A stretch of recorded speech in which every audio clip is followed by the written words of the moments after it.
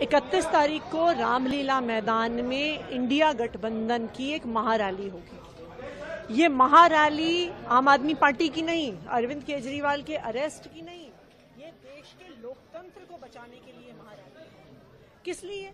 क्योंकि आज विपक्ष पे एक तरफा हमला हो रहा है। आज विपक्ष के नेताओं को जेल में डाला जा रहा है। सिटिंग चीफ मिनिस्टर्स को जेल में डाला जा रहा है।